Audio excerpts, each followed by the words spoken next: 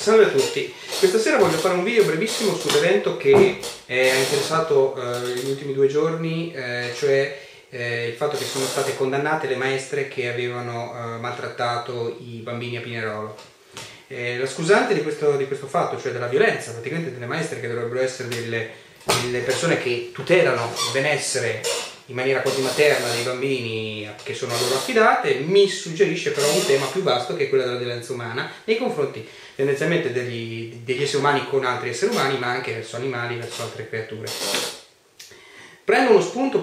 di, suggerendo tre testi che secondo me sono abbastanza interessanti, ce ne sarebbe un quarto che non ho sotto mano. I tre testi che suggerisco sono Anatomia della distruttività umana di, di Fromm,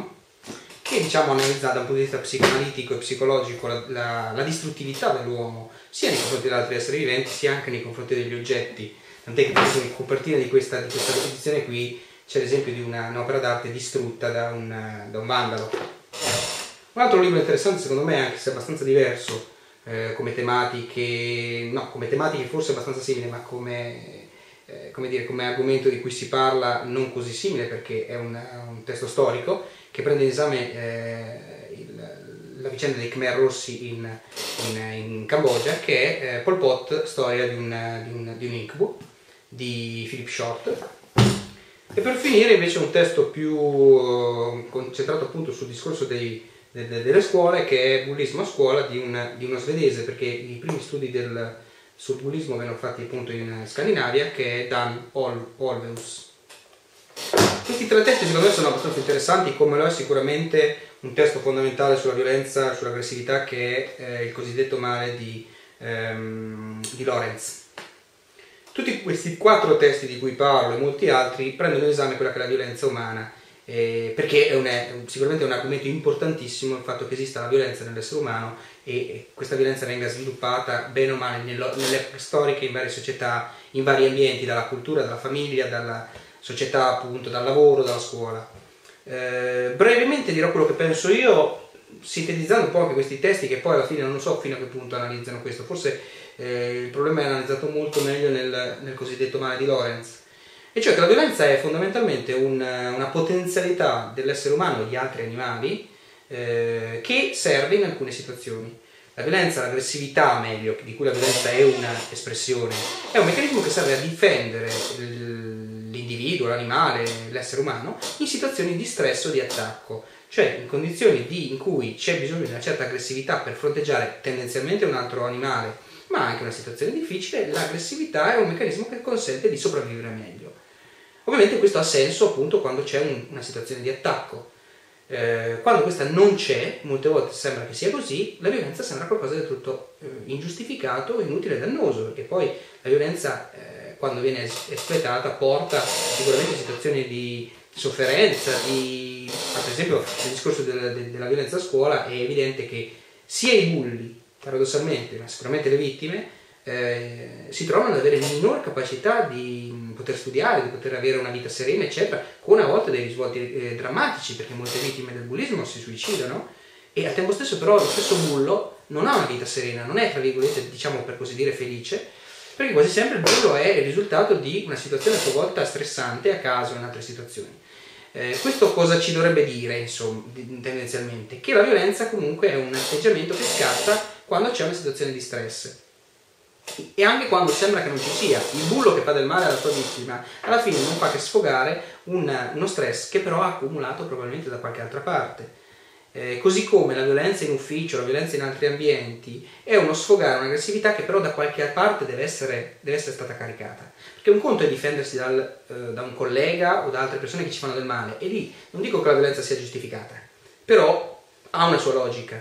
quello che forse dà più fastidio, forse può essere anche più incomprensibile, è la violenza che sembra gratuita. In realtà, secondo me, la violenza non è mai gratuita. È una, l'aggressività scatta quando comunque è stata caricata. Il problema è che a volte è caricata da situazioni pregresse, per cui magari un bambino viene trattato male a casa o ha situazioni di forte stress. E queste situazioni di forte stress le sfoga a scuola, magari sfogandosi su un, un bambino o un'altra persona che è più debole di lui. Così come il capo ufficio che magari è maltrattato da, da un suo superiore, sfoga questa aggressività magari maltrattando dove può, quando ha il potere, qualcuno che gli è sottoposto. Ora, allora, questo cosa voglio dire? Che la violenza tendenzialmente per svilupparsi ha bisogno di due cose. Uno, un elemento sociale o sociologico che la carica,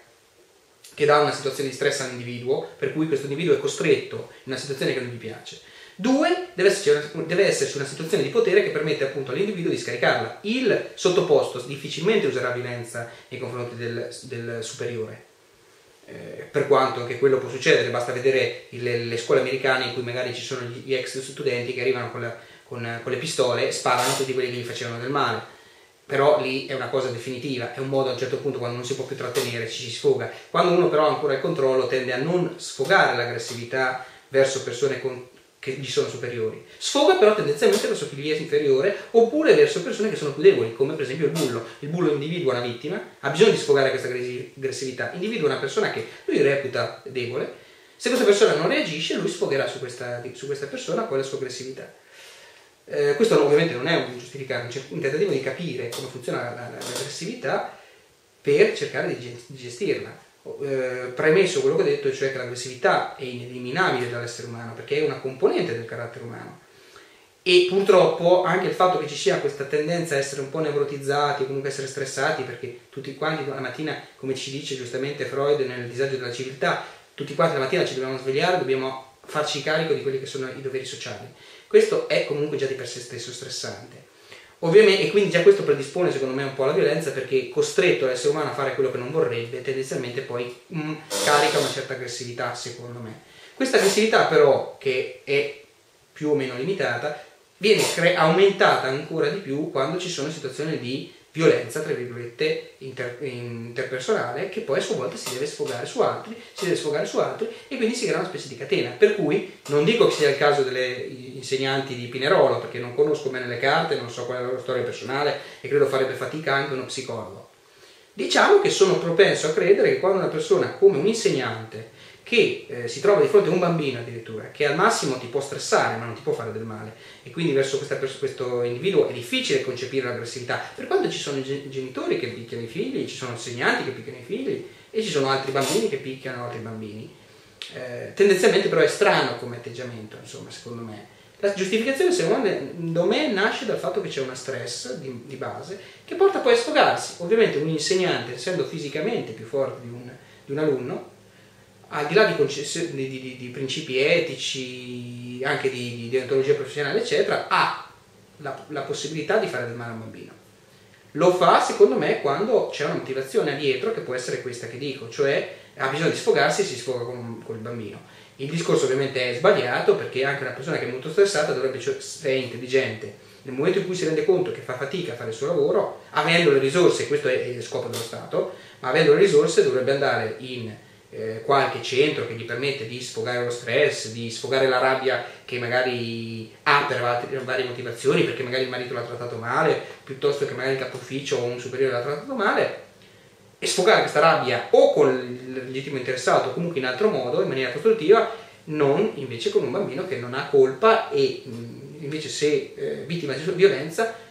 farà ancora più fatica a bloccare questo ciclo perché un bambino fa più fatica a capire questo meccanismo, mentre un adulto si presume che dovrebbe riuscire a gestirlo e quindi questo è più pericoloso perché crea appunto un ciclo continuo. Queste sono le mie riflessioni sulla violenza, cioè secondo me nasce per queste motivazioni qui e ci sarà sempre il rischio che ci sia, una maggiore comprensione però di questi meccanismi può aiutare a limitare la violenza nella nostra società. Eh, ringrazio per avermi seguito, spero di non essere stato troppo lungo, spero ci saranno molti commenti perché questo è un argomento che mi sta abbastanza a cuore. Grazie a tutti, buonasera.